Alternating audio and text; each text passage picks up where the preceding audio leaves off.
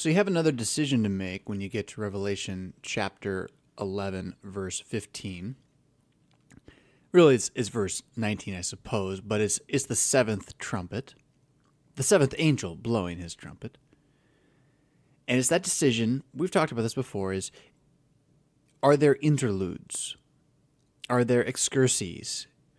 Does, does John break the pattern of the three sets of sevens in order to go off on, on tangents that he then comes back from?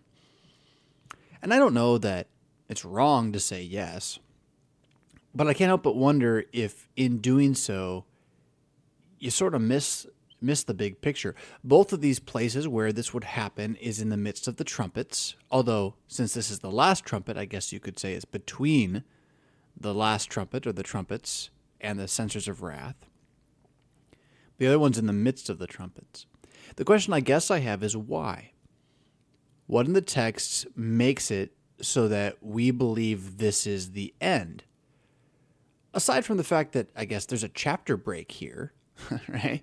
That the the monks put a chapter break here because it had been that much space. They, they tended to not always do it where where there was necessarily a an actual change in ideas. They tried to, but it was also about how much space you covered. That's why all the chapters are about the same length. Yeah. So there is this chapter break here. And you do have an earthquake and thunder and heavy hail and rumblings and lightnings and things like that, which has happened a few times before in the book and certainly has some end of the world connotations. But again, those things also have cross connotations, over the cross connotations. Uh, the the fixing or the inversion of all things connotations. So I, I I don't know. I'm just I'm wanting a better argument than it just seems to stop here, because I don't think it does. I think that the third woe, which is the seventh angel's trumpet, which uh, by the way I don't I don't believe we're ever told the third woe is past. The third woe just kind of goes. The third woe is got to be a little bit more than just this song, and I think I think generally that would be what people would say too that the song is maybe an interlude from the woes that the woes and the trumpets are not lined up with each other. But i don't, I again i don't see why we need to do that. Verse 14 says the second was past the third is soon to come. It said that about the first and then it went right into it with the sixth trumpet. So the seventh trumpet is the third woe i think. And it's going to be a lot more than just the end of chapter 11 here.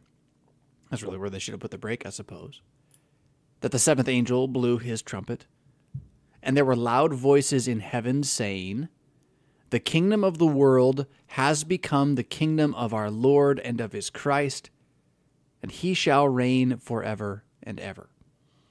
A little bit of the hallelujah chorus there. You start this woe with a picture that we've already seen that the believers and the angels and all those who are in Christ are in heaven already, kept there with him, trusting in him, victorious in him, singing a song. And way back, way back when we did a, an episode where we just went through this song of the book of Revelation, and I believe we got to this this text at that point. But there's a number of pieces here that, that they're not new. We're all kind of going back to that chapter 7 picture of the throne room and the the uncountable masses surrounded and singing. As I say, chapter 4 through 7. Because verse 16, though, and this should really ring a bell, the 24 elders who sit on their thrones before God fell on their faces and worshiped God. Well, that's what they did before, right? They cast down their crowns around the sea and all that.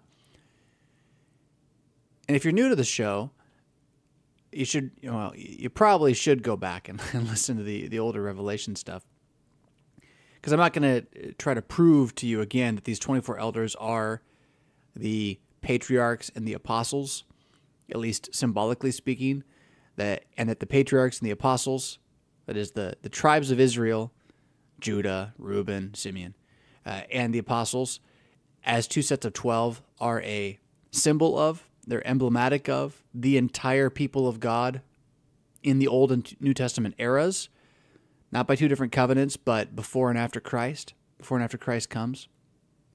So that the number 12 is the number of the church, and you have the number 12 twice, right? Not unlike the two witnesses. right, that we were talking about just recently.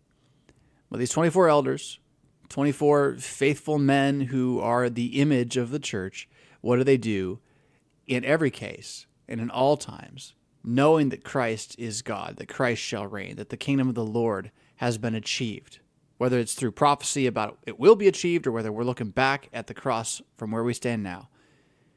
This causes us to to fall back into our proper position regarding God, reverence, and to worship him, which is to ascribe to him what he is, who he is. So the song in verse 17 says, "We give thanks to you, Lord God Almighty, who is and who was, for you have taken your great power and begun to reign. The nations raged, but your wrath came, and the time for the dead to be judged, and for rewarding your servants, the prophets and the saints, and those who fear your name, both small and great, and for destroying the destroyers of the earth. Now, I suppose you can take that as the end of the world has come, and that's it. That's just the description. It's the end of the world now. But I think you can also take that as introduction to what comes next. Right? They're singing about what is about to happen. They're they're painting that bigger picture. And as we get into that bigger picture, there's there's also this it's this constant problem. It's it's the great tribulation problem of wanting to think of the end of the world only as something that happens at the end of the world. As opposed to understanding that the end of the world happened in the cross of Jesus. The end of the world happened early in one man's body. In that sense, also, the new world, the next world, the life of the world to come, has begun already in one man's body. And that that breaking of the timeline in our heads, right? That is so key to the way that John is going to describe everything else that, that happens right now. So, so what happens? Is it at the end of the world that God's temple in heaven will be open and we're going to see the Ark of the Covenant? Or is it the birth of Christ that God's temple in heaven is opened and we see the Ark of the Covenant within the temple, right? Yes, might be the answer. Although I, I don't know that the, the big moment on the last day is going to be the box, the old box with gold and all that stuff. I'm pretty sure it's still going to refer to Christ. This song and this revelation of the ark, actually, I, I got to say, the, the, the chapter break is just in such a terrible place. It's it should the song is now going to be played out and the first thing we see in the fulfillment of the song is the ark. Look god's presence is doing what it needs to do. It's hidden behind earthquakes and hail and flashes of lightning but here it is. He's going to do what it needs to do. And then chapter 13 starts a great sign appeared in heaven, right? With the Ark of the Covenant. They're not this is not separate. You're still in heaven, right? Right? God's temple in heaven was opened, a great sign in heaven appeared. And but see most people they take this as like just a totally different shift. New direction, new thing, new story, has nothing to do with it. But yeah, why? Because the monks put a chapter break there. That's why. So the song, again, prophesies. Here, here's the story that's going to be told. And, and, remember, this is also the third trumpet becomes the fifth trumpet, ripple op, outward, sixth trumpet, ripple outward, seventh trumpet, right? We're just expanding the picture. It's the same picture, it's just getting wider. And it's all about the fall of Gog and Magog, which is about the luring of the devil to his damnation. The tricking of him, not, not, not with lies, the tricking of him with truth. Right? That, that God would put a lure or a uh, a temptation before him, which is not. God is not tempting the devil with evil. The devil is evil. God is putting something that is good before the devil, which the devil cannot resist but try to make evil. And it is in that uh, that, that he has his undoing, that Gog will fall. And you got to get you got to go back and look at Gog and Magog and where we looked at that uh, weeks and months ago, long time ago actually. But this kind of brings us to another another thought here, I th- and I think it's a major thought if we're going to understand the luring of Gog to his destruction. And it's it has to do with how do we view Christ on the cross with regard to does the devil think he's winning or does the devil think he's losing? Because somehow this lure, and this is what the next text for chapter 13 is going to show us this lure of Christ being man was too much for the devil to resist. He thought, oh my goodness, I can't believe it. There's an opportunity here for me to win. Now, in the Chronicles of Narnia, the way the White Witch, who is representing the devil, sees this opportunity to win is by killing Aslan the lion. So, so she believes that the she has triumphed, and that the death of the lion, the death of Aslan, will be uh, her victory, will put her in charge. And there's something wrong about that although it's not entirely wrong, and this is what I'm, I'm kind of getting at. I'm not sure it's entirely wrong. It might be a little bit of a both and. But it's that is a secondary thing at the very least. And this is because, at least I think, uh, it is really clear that the devil wants Jesus to come down off the cross. He gets him there but and that's the lure. Christ gives himself up of his own accord, but you know the devil's trying to get him on the cross. The devil enters Judas Iscariot in order to betray him. So there's no question about that. But I don't think he gets him there because he wants to kill him. I think he gets him there because he thinks that this is where he can tempt him to saving himself.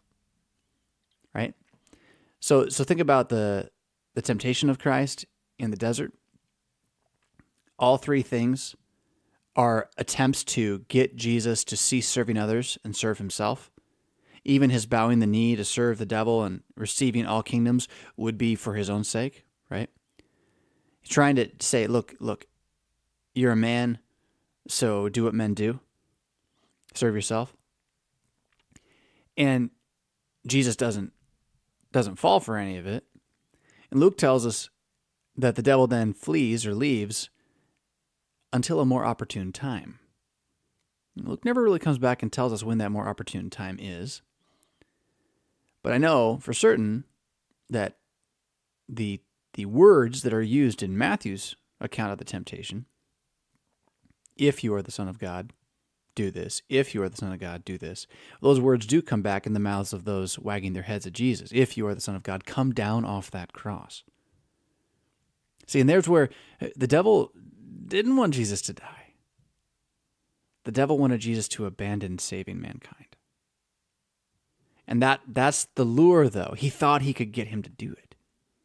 So that like he gets him to the point where he thinks that the death of Jesus or the impending death, the suffering, the agony will be too much and he will give it up.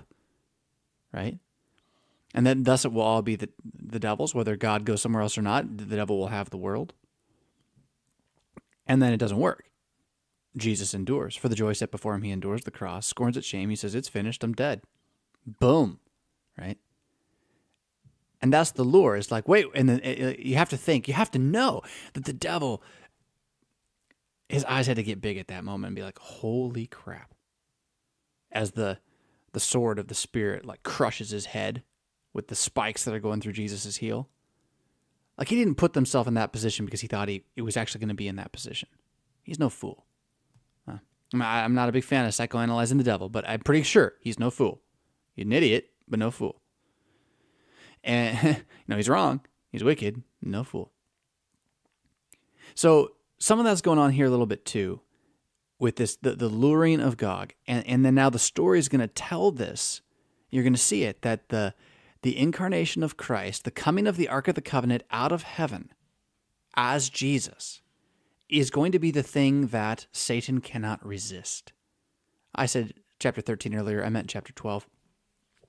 Satan cannot resist it because this great sign appears in heaven. Uh, amongst the, the Ark of the Covenant and the, the rumblings and the flashings, get rid of your trap, chapter break, break. Somehow connected to this, behind this, with this, as this, there's a woman clothed with the sun, with the moon under her feet, and on her head a crown of twelve stars. It must be it must be Mary the Queen of Heaven for us to worship, don't you think? That's what this is about. No. no, but it is Mary. It is Mary, and, and yet it's not Mary. It is the church. But it, it is the church, and it is not the church. It is Eve, right? It is woman. It, it is humanity as bride of Christ, which that's going to come later as well. So you, you have this overlapping of realities that, that Mary is the singular individual who actually bears Jesus in her body. But every woman who has ever been in the bearing of children in their bodies carry the promise by which, or the means by which Jesus, as fulfillment, came. And in that sense, every marriage is a picture of this. All humanity is a picture of this. And the church, particularly, as those who believe in this promise and pass it forward to their children, is a picture of this. This is why we call the church she. She. The church has a feminine descriptor or description, uh, a symbolization. And, th- and this, so this is her. This woman clothed with the sun, with the moon under her feet. Now, now catch the clothing with the sun. This is so important. Because who's the one that's shining with the power of the sun just previously? This angel, right? His face is shining like the sun. And who's the one who actually does that? It's Jesus.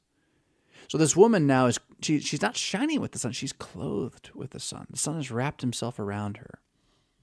Now the moon under her feet, I'm I'm not as confident about. And I, I had haven't had time, I'm not gonna have time today to go go dig into the moon. Other than I know this that the Old Testament calendar revolves around the moon. So I'm okay just throwing it out there that the law is under her feet, right? The Levitical codes, the Torah, uh, however you want to describe it, the old words, all of them, law and gospel, they are they are under her feet. They are they are her foundation. How firm a foundation, ye saints of the Lord. Yeah, I, uh, that might be a stretch. I don't. I I can't prove that one yet. But the being clothed with the Son is being clothed with the power of God, right? It, was it the the Holy One shall overshadow you, is what the prophecy is given to Mary. Yeah, and then the fact that this woman has on her head a crown of 12 stars, well, we just talked about this, didn't we? What's 12 the number of? It is the number of the church. What are the stars in Jesus' hands from earlier in the book? Oh, yeah, they're the churches. Yeah, so here we have two of those images coming right back. So who is this? She's got a crown made up of church, right? She's, she's the church. And if you want to see her as Eve or as Mary, that's fine. It's more that Eve and Mary are both pictures of the church than the other way around. The church is not a picture of Mary, Mary is a picture of the church. The church is not a picture of Eve, Eve is the picture of the church. And here, that picture, that woman, is revealed as a sign, a sign coming out of heaven, the promise that the seed would be born. Right? Verse 2 says she was pregnant. So now, here she is. I mean, she's glorious shining, moon under her feet, stars in her head, and then she's like crying out in the pains of childbirth, which is like, whoa, wait, whoa, whoa, slow down, John. That's a, it's not a glorious picture in most accounts. It's like a, I mean, if you've been in a, a delivery room, it's, it's intense. It's intense. Uh, there, there's, there's sweat, there's blood, there's yelling, there's, uh, there, there's, uh, the man is always terrified, the woman is always focused, right? It, it's uh, it's intense, and, and that's what's happening here. Now we don't have the man present because the is the father who's overshadowing. But see, she's clothed with him, right? Clothed with clothed with clothed with the glory of God, but she's crying out in pain and the agony of giving birth, which is also its own kind of symbol. Jesus speaks this way semi regularly, right? When he talks about the end of the world, and the tribulation that's come upon the world, he says these are but the beginnings of birth pains. There is something about the redemption of mankind that giving birth is not only how it happens in Jesus, but also a picture of what it feels like when it happens. The fact that he will greatly increase the pain in childbearing, and yet it is the childbearing that brings about the salvation of the world. These things are not they're, they're not separate from each other. They're tied to each other. And so this this church that exists throughout history, this woman with the crown of 12 stars on her head, she is always in this state within history. Even after Jesus is born, right? We still remain in the midst of the birth pains of salvation, the birth pains of the great tribulation, uh, the agony of the cross even though Christ himself achieves it. But th- this is pretty key, right? So this woman is both sides of the of, of the cross, Old and New Testament. that said, in pain with the child who is Christ, right? Struggling as the queen that Christ comes to redeem, but brought down low by the results of our sin, in that moment, another sign appears in heaven. That's verse 3. Behold, a great red dragon, yeah, crimson. Not just a dragon. He's not a golden dragon, he's a red dragon. Red dragons are bad. yeah, I don't know. That, that's the way fantasy tends to work. I have no idea about the, the redness of the dragon here in Revelation and John's connection to it. But I do know this. I, am I'm convinced now of this. I, and you can call me heretic if you want. This is the serpent, right? Uh, this is the serpent in the garden. The serpent in the garden was not a garter snake. The serpent in the garden was not a boa constrictor. The serpent in the garden was a dragon. Uh, he is the devil. Uh, and this is him. The old worm, the old foe. Uh, I, what compels John to say it this way? Is it symbolic? Yes. So so yeah, was he a lizard? No. Yeah. But he's an angel. He's an angel. He's a broken, fallen, rebellious, uh, broken to the level of, you know, cannot be saved angel. And John says, well, the way to describe him is as a crimson beast. Yeah, a crimson lizard of death a crimson snake with legs.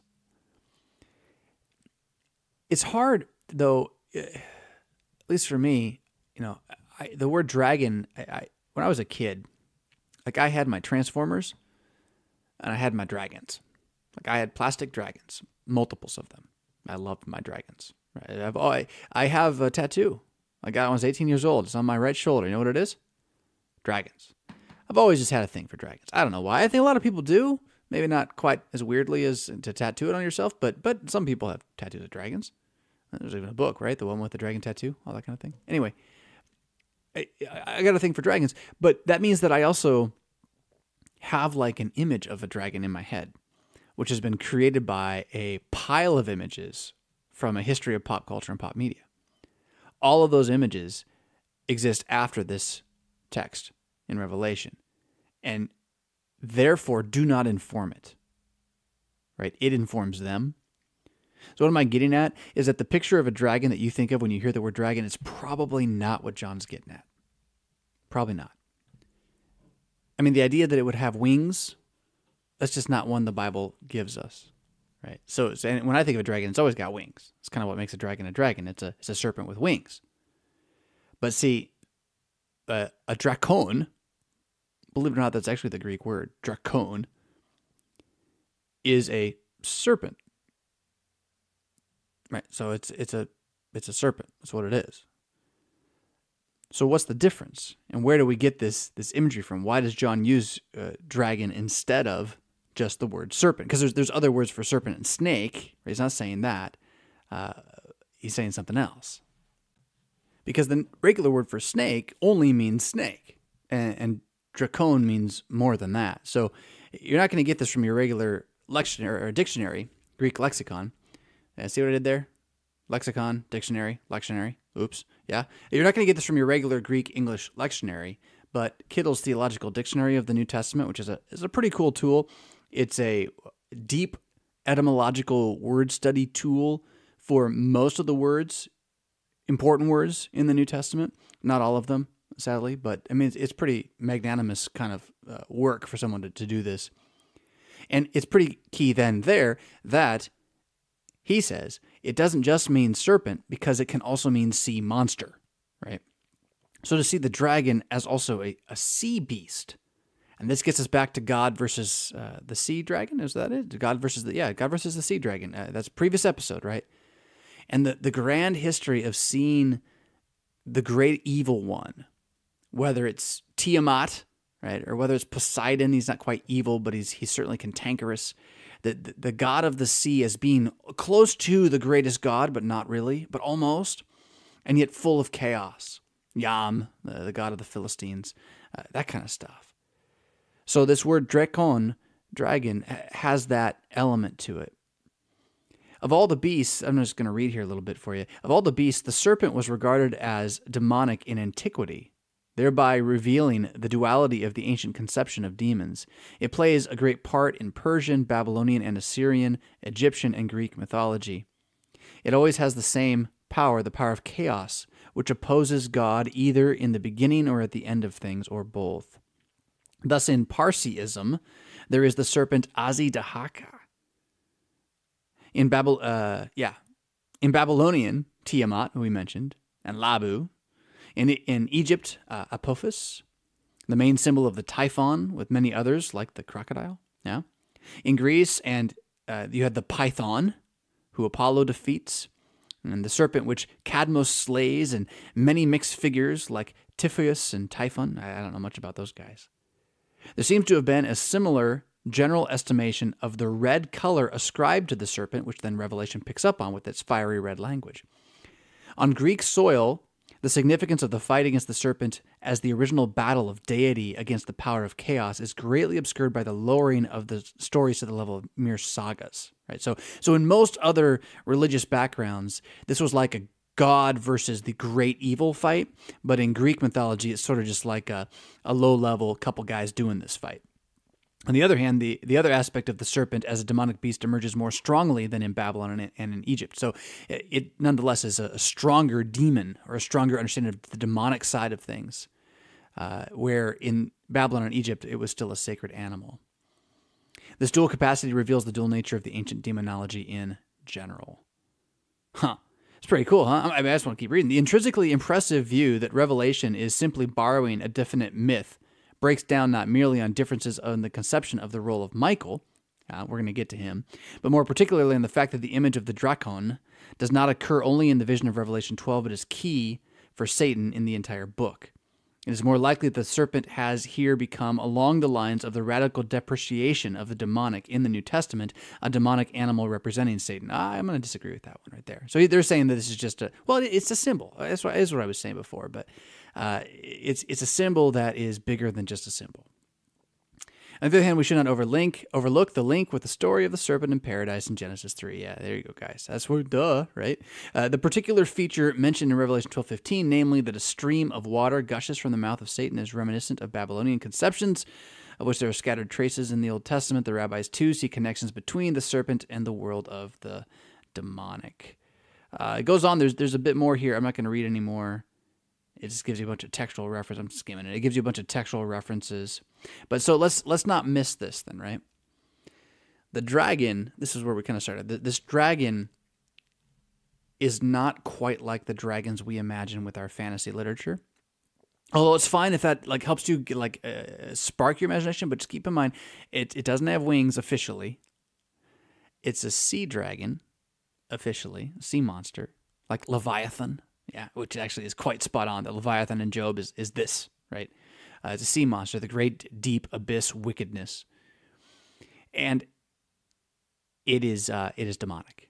It is demonic and the ruler of all chaos. So we got, you know, Eve giving birth and screaming in pain. And then we have a demonic sea beast uh, uh, coming out of, of heaven. Out of heaven. Yeah, the sign which appears in heaven. He's falling from heaven. This is all, and this is why it's like the timeline thing doesn't work. You can't be like, oh, this is before he fell out of heaven. No, he fell out of heaven when he tempted us. He, he, he fell at that moment. It's all combined. And that same moment is the cross where he's destroyed. So you got to see it from from God's perspective. We're outside of time, and this story is outside of time. But all the images give us a way of comprehending the story as as epic. Yeah. So great, fiery red Drakon with seven heads and ten horns, and on his heads, seven diadems. That is, seven crowns. So now here we have him, well, with a holy number and a complete number. Isn't that something? Seven, the number of holiness, ten, the number of completion. Here is this great fiery Drakon with that as his number. But see, it's not really his number. This is pretension.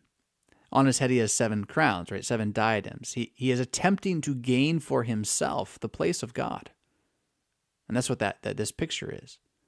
Uh, by the way, you know, the, the picture breaks down as a picture so fast the moment you try to draw 10 horns on seven heads, right? I, have you ever seen these? Every once in a while, there's something like this. Someone will try to draw Revelation stuff, and you're like, wait, that doesn't work, right? What was he have?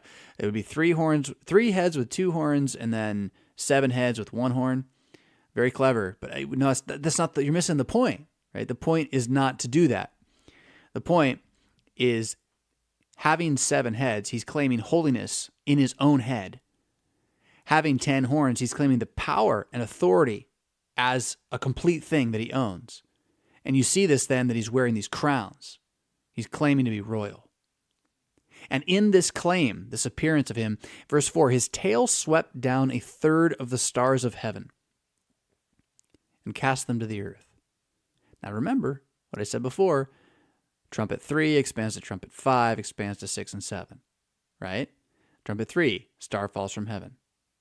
Trumpet 5, star falls from heaven with the key to the abyss and unleashes the demons on the world. There you go, right? Here we are again. Now you have these demons coming out of the abyss are also other angels falling from heaven. And don't miss that it's a third. It's a third. I still remember I said this one time in a Bible study. Offhandedly, I'm like, you know, the devil took a third of the angels with him. And I had a, a sweet little old lady, God bless them, they love their Bible. They've learned their Bible their whole life long, and then they hear something they haven't heard before, and they think, uh, you know, they, they get a little angry about that. It's kind of weird sometimes. So she's like, "Whoa, where is that? Where is that written? I've never heard that before." Well, okay, it's right here.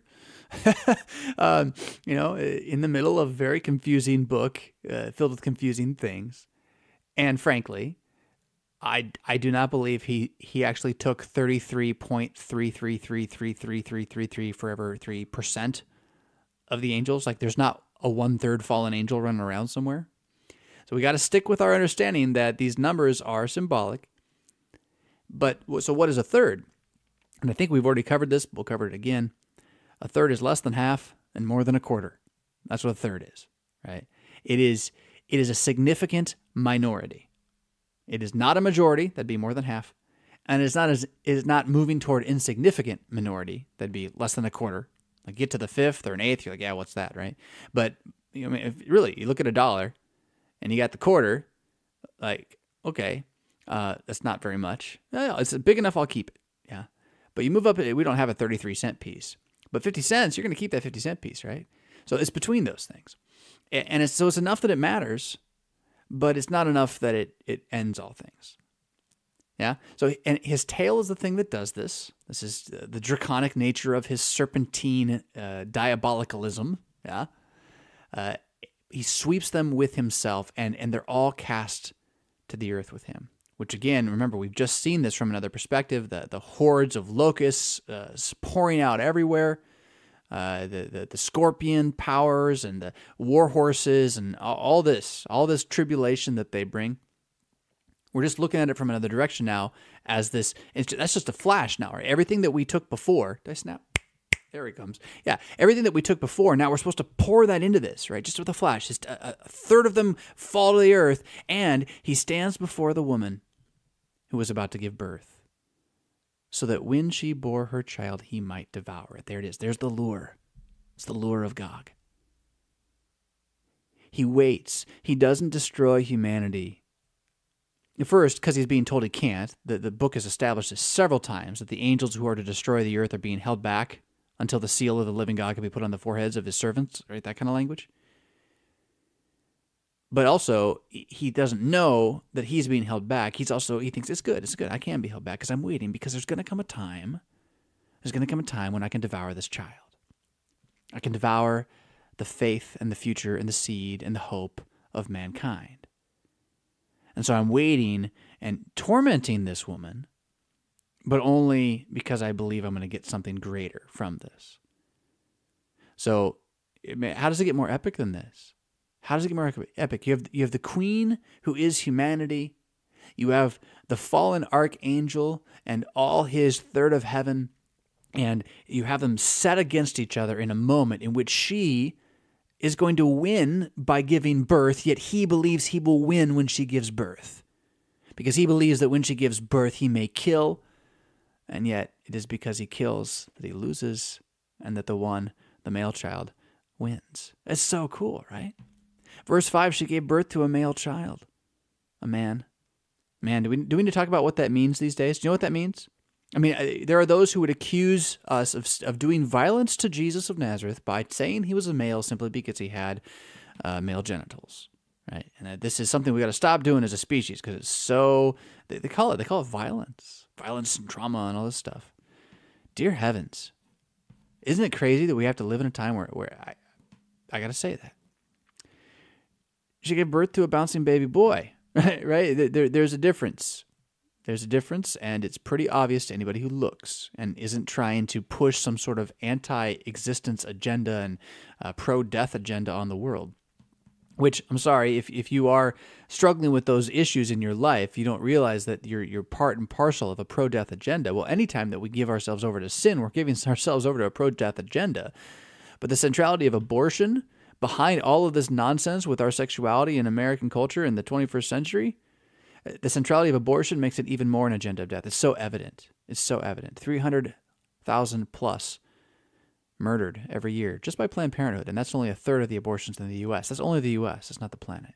And we're spreading this stuff as if it's mission work. Dear heavens. She gave birth to a male child, one who is to rule all the nations with a rod of iron. But her child was caught up to God and to his throne. Right? So so here here he is and the devil's ready to eat him. But it doesn't work. It doesn't work. He can't do it. He can't eat him. Instead, he ascends to heaven. So you just have the death and resurrection of Jesus there, even though it doesn't say it real explicitly. But you do. Incarnation. He rules. Where's he crowned? Where's he crowned? King, the cross. And then he ascends. He's caught up to God, to the right hand of God, to the throne of God. Yeah? Now, I do feel that because it mentions rod of iron, we do need to do a little Old Testament here because I know this one's I know what this one is. I know to go where to go look for it, and is is really key. Psalm two is a psalm that doesn't get a lot of psalm love. Uh, it's not going to be on a whole bunch of Hallmark postcards and and things like that because it's a it's a military psalm, and this thing is it's kind of violent. Uh, it's kind of powerful, and it's, it's so important. It's number two. The structure of the Psalms, we we did a little bit of this, uh, you know, last year. Not not a lot, but a little bit. The structure of Psalms is kind of a confusing thing because you know many different authors, and then there's somebody who kind of put them all together in an order. And I don't know that we can say that the order is inspired or not. I, I'll debate that. And if you want to say the order is inspired, that's fine. I'm okay with it. I'm willing to submit to that even. I, I haven't ever seen it proved in any way. But the order was definitely done you know, after the exile. So that's kind of where the challenge comes in. But even though the order was done after the exile, it might not be an inspired order. All the Psalms that are there, they're definitely the inspired word of God. And then the order is, at least, at the very least, it's a confession of something about them and their place in our faith. And again, Keil and Delitzsch do a pretty good job of kind of picking at that. I don't pretend to even have my mind around most of it, but I can tell you this Psalm 1 is definitely there on purpose because it's the it's the gateway to the entire book, right? The the man uh, of God, the man who is righteous, is a tree planted by streams of water. To have God's word underneath you is to make you one who prospers and bears fruit. You're blessed, not by wickedness, nor sin, nor scoffing, but by the Torah, the revelation of God, which you meditate on day and night. And the wicked, those who reject that Torah, that revelation, that law and gospel, well, they're not going to stand in the judgment. But the way of the justified one, the way of the righteous, that's you. You know, the Lord knows that way and brings that way to you. Blessed is the man, blessed are you. That's the entry to the Psalms. You know, you need the word of God. Here it is. Pray it. And isn't it funny? The circular thing here, but it's real. You need the word of God is something the word of God says. So, which word of God is it? Well, it starts with the one that you need the word of God, right? That is a big part of it. There is more. It gets more concrete, more narrow, but that is that's a huge starting place. Psalm 150 is also there on purpose. Alleluia, alleluia, alleluia to the end. Lots of uh, praise and glory, and it's, it's, it's kind of the, the, the capstone of it all. And there's other places along the way that there's some markers that are left, but Psalm 2 is then the first psalm that is not the first psalm. And it is in many ways like the backside of Psalm 1. Right? So the, the Lord knows the way of the righteous. Well, now here is here is the first image we get of the actual righteous one. And it is a prophecy and a song about the king. King again in Hebrew is is Melech, but the only way you become a king, if you are a Hebrew, is that you must be Christed, Messiahed, right, anointed into the kingdom. So the king is the Christ. He's the Christ, the christened one. Yeah? And in this first psalm about the christened one, we're going to get this bit about the rod of iron. Yeah? Why do the nations rage? Verse 1 asks. Why do the peoples plot in vain? It's an open question. Why is it that the world is in chaos? Why is it that people cannot understand or see that the world is in chaos? Why is it that the kings of the earth set themselves together and the rulers take counsel against the Lord and against his Messiah, against his Christ? Isn't that weird? That all the powers in the world have united themselves against Yahweh, the maker of heaven and earth, and against the king he has chosen? And what they say as they set themselves against him here it is, Gog and Magog again, right? What are they trying? What is the devil trying to achieve? And what are we trying to achieve in our sin with the devil? We are saying, let us burst their bonds apart and cast away their cords from us. That's the bonds that God has put on us, the boundaries God has put on us, the wrap, the holding, the place, the vocation. But to be under the devil, to be one of the nations, one of the goyim, truly, one of, one of the Gentiles that is not a Gentile by blood, but a Gentile by unbelief, is to seek to burst the bonds, to get away from what God has said will be. Verse 4 says that he who sits in the heavens, that's God, that's Jesus, he sees this, he's watching all this, and he laughs. Now, this isn't like a belly laugh, like, oh, oh, oh, I'm having a good day. I'm a smiling, happy person. I've, I've shared this before. You may have heard this before. I remember my last year of seminary. This God bless the guy. It's a classmate, uh, or maybe it was a second year, a couple years behind me. But you know, he's wearing this T-shirt and he's got like a picture of this guy with a beard and long hair. So it has to be Jesus because that's that's that's what we know about Jesus. More than anything else is certain, we know he had a beard, beard and long hair. In fact, anybody who has a beard and long hair, they look like Jesus, don't they? Right? What a what a joke that is. Any anyhow, he, he, he's there. He's got his beard, long hair on the t-shirt, and he's laughing. He's so happy. He's so happy. He's just look at Jesus, the loving Jesus. He's such a happy Jesus, with long hair and a beard. And then it said, "He who sits in the heavens laughs." Psalm two, four, two verse four. And I remember looking at that and being like, I don't think that's what that says. I don't know though. I should go look that up. And a buddy of mine, I think, pointed it out to me and, and, and then pointed me to this. And he said, look, he's not laughing because he's happy. It's not, it's not trying to tell you that your God is a nice, happy, cheery guy. He's, he's holding them in derision. That's the rest of the verse. He's scoffing at them. You know, it's kind of like, can you imagine if the anthill outside your house decided it was gonna it was gonna mutiny against you? They're like, this year this year, we're going to stop that man from living in that house. We're going to take over. We're going to live in that house ourselves. Not just like invade it. We're actually going to be sleeping in his bed, eating his food, drinking his beer. Like, if you heard the ants saying this to themselves in their little ant language, what would you do as you went for your can of raid, right? You'd be like, yeah, right, little ants. Not a chance. And that's kind of what's going on here. So when God looks down, and he sees the nations, the kings, the rulers all saying, "Well, we're gonna we're gonna throw God off. We're gonna stop the Christ from ruling the world." He's just like, "Yeah, you don't know how stupid you sound. You you can't fathom the fact that you're sounding that way means you can't understand how stupid you sound." Then, verse 5, he, the Lord now, will speak to them, those who are rebelling against him, in his wrath, and terrify them in his fury, saying, Well, as for me, I have set my king on Zion, my holy hill. Now, I don't know. For the Christian, I've set my king on Zion, my holy hill is not terrifying nor furious, right? But see, see, if you're one of the kings of the earth, if you are uh, the serpentine sea monster trying to overthrow the king set on Zion permanently and unmovably, the foundation on which the new world will be, that is sort of a terrifying thing if you can't get through his shield. And now it, the, the psalm then turns, and this is one of the challenges with the psalms. They go from third person to first person sometimes, and they don't really tell you why. David, in, in one sense, is doing this because I think this is from David, because uh, it is what God said to him, but it's not really about him. David knows it's also about the Christ. This is the whole point of the Acts 2 Pentecost sermon from Peter, right? David's dead, Jesus isn't, so it's all about Jesus. But he says, I will tell of the decree about being a king, right? Which is what this psalm's about. Be, being the king set on Zion, against which the nations cannot uh, overthrow. So, lest they overthrow God, God won't let it happen. He laughs at it. I will tell of this decree. The Lord Yahweh, he said to me, You are my son.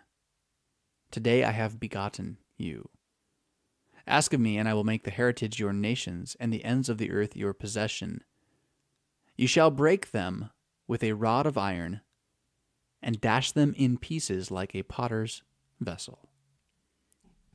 Now you got two images there that both kind of they're separate but they, they get brought together. The first is this rod of iron. And in hebrew thought a rod of iron was a tool for punishing. Yeah. Or, or especially held in the hand of a king. It was a demonstration of his despotic ability total authority able to do anything it needs to do and unable to be stopped from that so, uh, you know, as an, another example of just the value of iron, historically, this is the metal that changes everything, militarily speaking. Right? Once you got iron as a sword, anybody who's working with bronze, they can't they can't deal with you. It's just it's just too hard. It's too unbreakable, too unshatterable. You see this a little bit, I believe, is in one of the, the beasts that Daniel describes, which ends up being Rome, and the iron of his jaws. Yeah, he just crushes everything he chews on. So you have that first, this this great strength, this thing that cannot be be cracked. And then you have a, a clay pot which is about the most brittle thing you can really have. I mean, they're very valuable historically too. Without clay pots and the development of pottery, uh, humanity would have struggled in a lot of different ways, right? It lets you get water, lets you keep oil, lets you lets you keep grain. Pretty pretty cool thing, but they're brittle. You drop a pot, it breaks. It's kind of like dropping a glass. And glass is a, a similar thing uh, in a lot of ways, really. So you could really just replace this with that image, right? With, with your, your water glass that you, you crack in the sink or something like that. But now he's taking this rod of iron, this great military strength, and he is dashing it into this pot so that it shatters.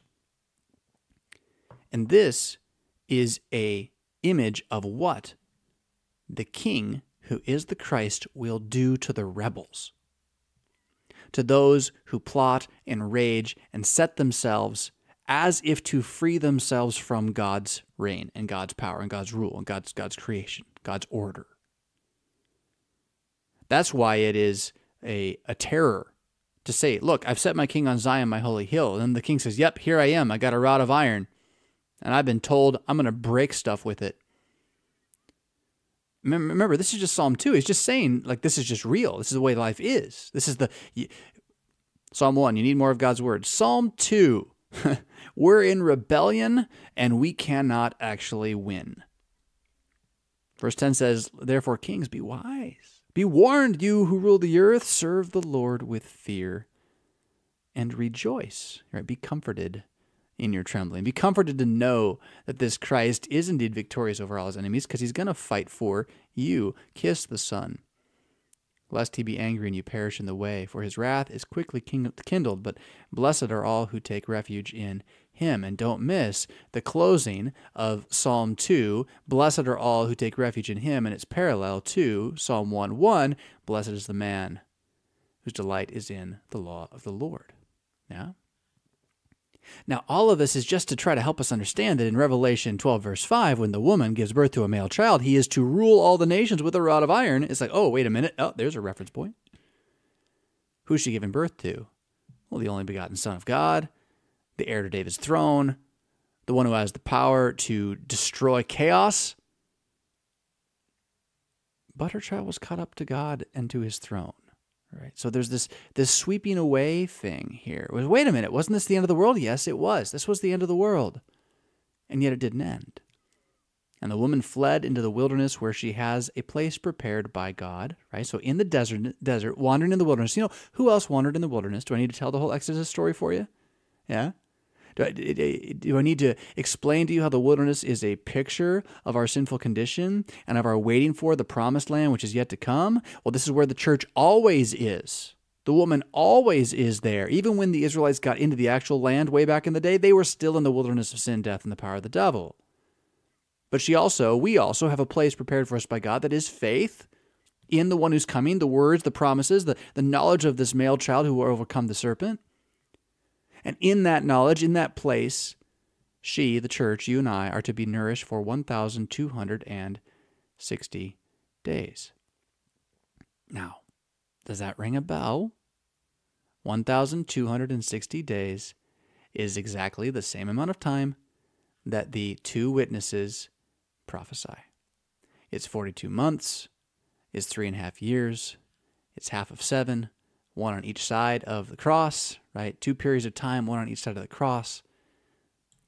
It is a number of incompletion, a number of waiting, and yet a number of of knowing that there is an end, right? So the 42 years spent in the wilderness by the people of Israel. Yes, it was 40, but it was 42 when you include the whole Exodus. Yeah this is all just a picture of our current great tribulation. When you catching that, how over and over again, by symbol piled upon symbol piled upon symbol, all with Old Testament reference, he is just describing what the New Testament and other clearer texts so clearly says. That we walk upon a sinful planet, a broken, a fallen, a dying planet, and that the only hope we have is the incarnate Christ who will overthrow our enemy, the devil, who has overthrown our enemy, the devil. In, in the devil's attempts to destroy him, he in fact loses. The next verse now a war arose in heaven. See, again, this is where people then will take this and they'll say it's a different story. No, it's not a different story. This is, it's all going on at the same time. Michael and his angels fighting back against the dragon is happening at the same time. It's happening at the cross. It's one great cosmic inversion point. And again, the seventh trumpet here, start to finish, and I think we're still in the seventh trumpet, no excursus. Start to finish is looking at this luring of Gog, the story of the casting down of the dragon, all from one glorious, spinning, symbolic perspective. I have a statue in my house of the Archangel Michael, and he's got a big old spear in his hand. And the spear is pointed down at the maw of this a dragon, like a Western style dragon, wings and all, curled up underneath him, snarling but but beaten and about to be pierced. I have another statue in my house. It's a crucifix. Jesus dying on the cross, pierced. It's the same picture. But to get into that, you're going to have to come back next week. Actually, you're gonna have to come back in two weeks because next week we get a special special edition. It's Thanksgiving. Uh, I needed to take a little break and, and get away with my family. I haven't had a vacation in about six months at all, like like any downtime. So we're, we're gonna take a, a week here. But uh, Pastor Brian Wolfmueller and I did get to sit down earlier this week and have a what ended up being a pretty cool conversation. Sadly, we lost. I said that like it was surprising. It wasn't surprising. I, I'm I'm disappointed because we lost the first 15 minutes or so of it. But we were able to kind of bring it back. We're going to talk about the, the practice of creativity and uh, with particularly, particularly with regard to writing. But if you're any kind of creative person, uh, this will be interesting to you. And then we're also going to get into with that, you know, writing theology and some of the issues that he's looking at for his next book, which I'm trying to convince him he's going to change the name of it. But you can you can listen to all that all next week. That'll come out on Thanksgiving Day. Uh, so make sure make sure that when you're you're sitting there with all your tryptophan high sleep and you got your iPhone ready to auto download uh, Raw and, uh, and, and pop that thing in, uh, even while you're watching football, it might be worth listening to. Yeah. All right. So uh, we'll see you in two weeks with Michael and the Dragon. Oh, such one of the best parts of Scripture. And in the meantime enjoy your time with family and giving thanks to the Lord for all that He has done for us. We'll catch you soon.